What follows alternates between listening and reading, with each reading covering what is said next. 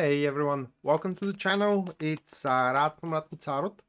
And uh, in this whole video, we're to look into uh, Leo Sun, Leo Moon, and also uh, Leo Rising weekly general tarot reading October 18th up until October 24th, uh, 2021. And uh, should you be interested, guys, in a personal reading with me, or uh, if you do want to take my tarot classes, checking out the description down below is going to give you a link to my website uh, where you can view and purchase either or both of these services. And as well if you do enjoy the content here on the channel and you do wish to support us uh, just leave a like subscribe or hit the notification bell so you do not miss any of our weekly uploads so with that being set aside, moving straight away to the Leo reading of the week, and the very first card for Leo, that will be the Eight of Wands, uh, followed by the second card here, which stands as the Four of Pentacles. Uh, moving next, what we do have, that is going to be the Chariot card for Leo, followed by uh, the Six of Swords. And uh, the last card for you guys, uh, that seems to be the uh, the Hangman.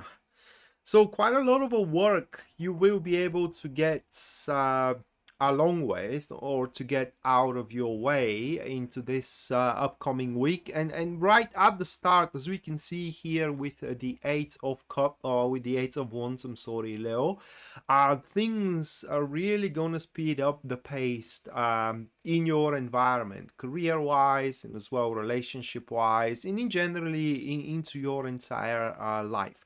Now uh, with the eight of wands there are gonna be quite a lot of uh, opportunities, quite a lot of openings as well, quite a lot of loose ends, so to speak, where you can you can pretty much uh, involve yourself into, where you can pretty much take a participation into.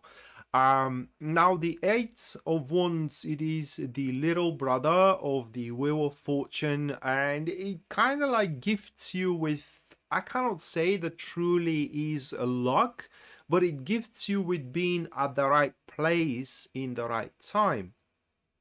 However, the difference in between these two cards is that uh, while with the Wheel of Fortune, you can uh, pretty much walk away or get away with uh, almost anything uh, here with the Eight of Wands, you will have to face circumstance or consequences. I'm sorry, not circumstances, consequences.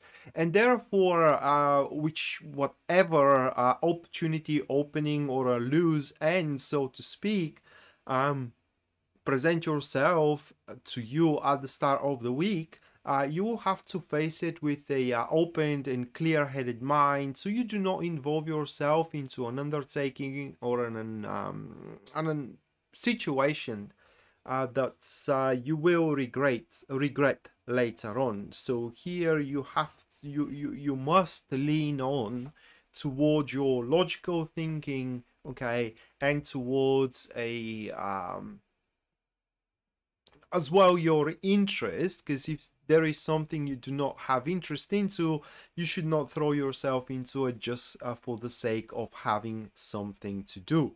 And uh, based on these openings in these um, loose ends, uh, the Four of Pentacles, it's a very positive card as a follow-up to the Eight of Wands. Now, some of you are going to focus on one thing specifically and they will make uh, at least as the four of pentacles stands they will make significantly a good decision. Some of you are gonna try to juggle with uh, more than one thing with two three a few things around you know a few opportunities around which some of them may prove to be a poor choices but for the most part uh, with the four of pentacles with your choices at the start of the week you are be you are going to be able to ensure your certain and secure future. So while you may make some bad decisions for the most part or the majority of your decisions at the start of the week how you are to approach your future and what opportunities to take are going to be an accurate or rather like a good decisions. And uh, with those decisions like i said you will be able to establish your certain and secure future career wise relationship wise as well. And not just only that leo but with the four of pentacles you will be at that point have, have taken the necessary measures, the necessary um, preparations, so to speak, so you can guard your um, your accomplishments so you can guard what you what you already have. And therefore uh, in this week you can expect that you are to consolidate uh, solidify your position at work your position at your social circle okay your position at uh, at your relationship life as well and um, you are to be um, uh, feeling how can i say secured uh, for what is the future throwing at you. And uh, right after that, the chariot card uh, takes place.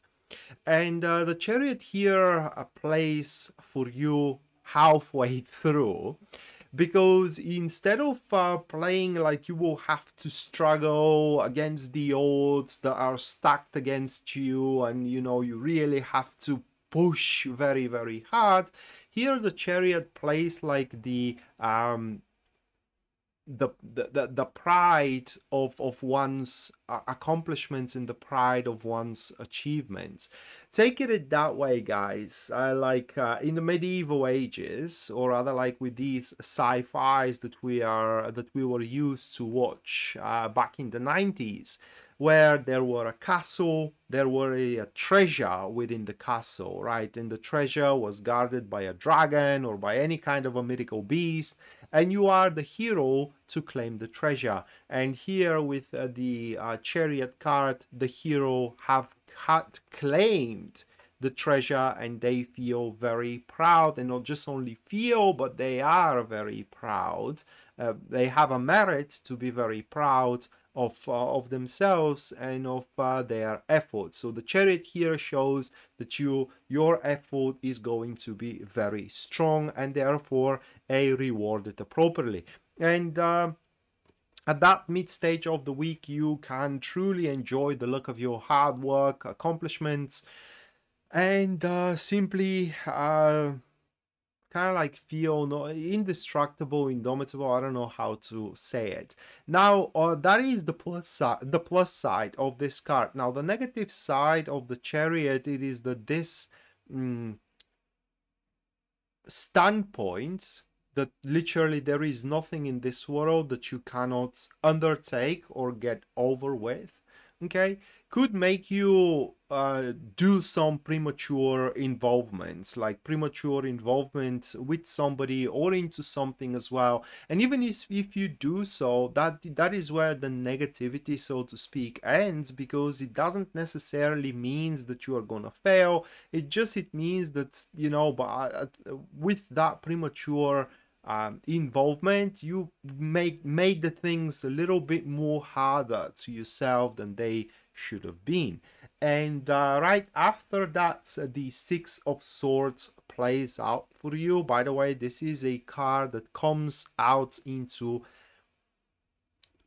every star sign that I, that I read thus far and uh, we can say that this card it is kind of like the insignia of that week and uh, the six of swords is always the card where uh, one is, I cannot say abandoning, but it is like leaving behind, at least for now, uh, the future that it is or rather like the the accomplishments which are thus far stable and it is striving toward a new shores. And therefore at late at these late stages of the week you leo should think about you know what kind of a dream and what kind of a goal you have in your mind for the long term and that the time had came here to make the very first maybe baby steps for some maybe a lion's jump for others but to make something about it. Because the uh, parable of the six of swords it is that if you do have a dream and if you do have a goal just thinking positively for, of it it's it's not gonna make it true. Actions and decisions are needed. And every start is difficult right? Uh, most mostly accompanied by being scared of of the results by being scared what is going to come out of it by being scared are you up for the task or not?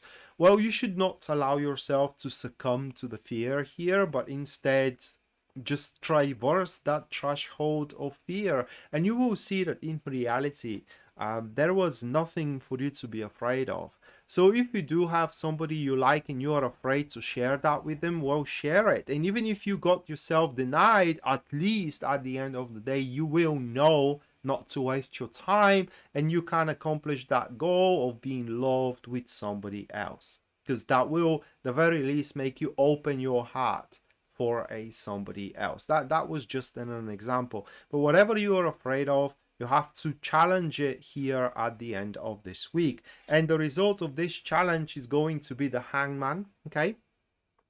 So hangman uh, in your case leo it's very undefined card. Because the hangman uh, it sits simultaneously as a test and as well as a breakthrough.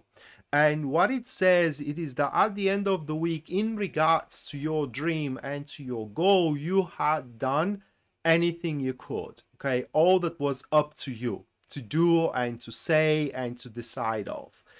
And uh, now the rest of the development at least for that stage sits beyond you meaning that it sits into someone else's hands or into the uh, into the time flow of the universe. No different than if we follow that example you say somebody that you like them and that you want to be with them you overcame your fear of not saying and now they have to decide does they want to be with you? You cannot decide for them. You do you, you did your part and now only thing you can do is just wait for them to make up their mind right? And uh, no matter how helpless you are to feel because at the end of the week that is how you're going to feel. You overcame your fear you did what you could and still no results okay? And uh, that may make you feel helpless or hopeless as well but no matter how dark that time will feel for you the sky the, the skies that had been darkened they are going to be set into light again for you. And all that you have to do is just wait and that is the test can you resist the hectic, the hectic wavering of that there are no immediate results, but the results are gonna follow with delay. And so with that being said, Leo, that was your weekly general tarot reading, guys, for October 18th up until October 24th, 2021. Hopefully you do enjoyed it and you do liked it, and we are to see each other next time. Until then, bye.